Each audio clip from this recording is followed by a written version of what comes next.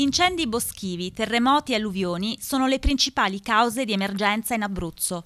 Ma come si comporta la protezione civile per fronteggiare un disastro ambientale? Tre giorni dedicati alle esercitazioni in situazioni di emergenza organizzati dal nono Reggimento Alpini dell'Aquila in sinergia con il Dipartimento di Protezione Civile regionale. Noi innanzitutto siamo alpini, perciò siamo, abbiamo una spiccata, come si dice, verticalità, perciò eh, tutti, tutto l'esercito interviene nell'emergenza. Gli alpini hanno la capacità di intervenire laddove l'emergenza ha questa caratteristica di verticalità. Cosa si aspetta per il periodo estivo adesso? Siete pronti a fronteggiare quali emergenze? L'emergenza in quanto tale è un'emergenza, perciò la, la, sua imprevedibilità è la, è, la, è la, sua matrice principale purtroppo. Però cosa possiamo fare? Noi ci addestriamo, ci addestriamo in questo momento, per esempio qui oggi ci addestriamo all'antincendio, perciò è la campagna antincendi boschivi si sviluppa appunto nel periodo estivo, noi siamo una componente della protezione civile pronti a intervenire alla loro richiesta, perciò in questi giorni noi ci addestriamo proprio a questo.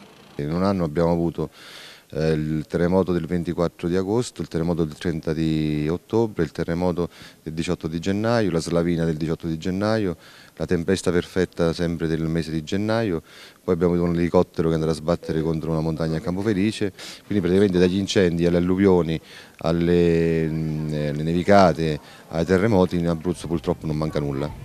Simulazioni sul campo presso il Monte Morrone, nelle zone ricadenti nei comuni di Prato La Peligna, Rocca Casale e Pacentro, un'esposizione di attività dimostrative che l'esercito svolge durante le emergenze, un convegno sulla gestione della comunicazione in caso di calamità ambientali e un'esposizione didattica a cura degli studenti del Polo Scientifico Rico Fermi. Alla manifestazione hanno partecipato tra gli altri l'Università d'Annunzio di Chieti Pescara e diversi esperti come il ricercatore dell'Istituto Nazionale di Geofisica e Vulcanologia. Noi forniamo con, questi, con questi, de, queste banche dati, per esempio quella della, della mappa di pericolosità, forniamo livelli di accelerazioni e quindi in base a questo vengono, sono state scritte e aggiornate le norme tecniche di costruzione che, sono, che, contengono i vincoli ingegneristici per, le, per le, nuove edificazioni che vanno quindi naturalmente rispettati.